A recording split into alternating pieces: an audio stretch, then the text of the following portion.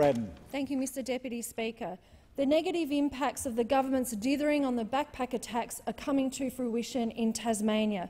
Sassafras orchardist John Brown said today in my local newspaper that he expects to lose hundreds of thousands of dollars worth of fruit due to the dire shortage of backpacker labour. He is 60 pickers short and clearly states that this is a result of the Coalition's disastrous and bungled backpacker tax. Apple growers were told by backpackers last season that they would not be coming back to Australia to pick apples this season because of the government's then proposed backpacker tax rate of 32.5 per cent.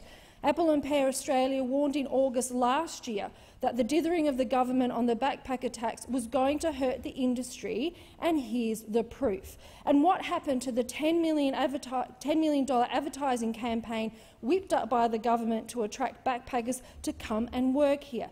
Clearly, that was a waste of money. Had the government not gagged the debate on the bill last year, they would have heard my calls for this money to be used to focus on backpacker jobs in Tasmania, Western Australia and the Northern Territory.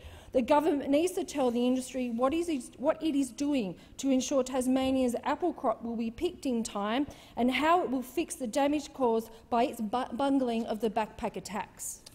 I call the member for Fadden.